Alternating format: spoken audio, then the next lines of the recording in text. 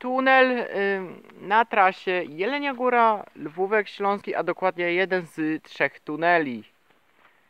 Przejdziemy się, a jest to krótki tunel, ponieważ nie jest długi tunel jak na Przełęczy. Byłem w tym tunelu kolejowym na Przełęczy. Jest to tunel taki na zakręcie. Krótki, tak jak wspomniałem. No to co, przejdziemy się tym tunelem.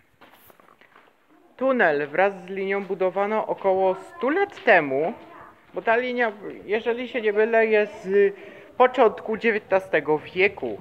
Tutaj były dla robotników, że jak coś w tunelu działy się jakieś prace, to wtedy tu się chowano, jak jechał pociąg. O, tutaj mamy jeszcze szyny.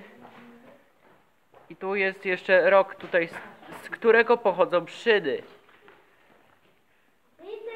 Idziemy. Yy, przepraszam, ale tu jestem z rodziną dzisiaj, nie sam. Yy, idziemy właśnie. Jesteśmy dokładnie, zaraz będziemy na zakręcie tego tunelu.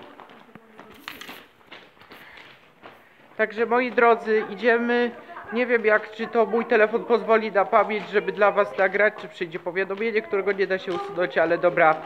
Yy, ważne, że jest filmik tutaj z tego tunelu. No i tam już światło z tunelu i to byłoby już na tyle.